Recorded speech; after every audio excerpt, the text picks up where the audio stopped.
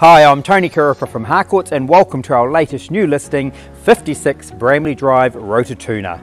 This home, built in approximately 2003, is plaster over brick, approximately 210 square metres in total, four bedrooms, two bathrooms, and at the rear you have fantastic indoor-outdoor flow to a wonderful manicured private section, which has got a native treed outlook. The home itself is handy to Rototuna shopping. It is zoned for Rototuna Junior and Senior High School and also Hukanui. So come with me and let's explore this fantastic family home together.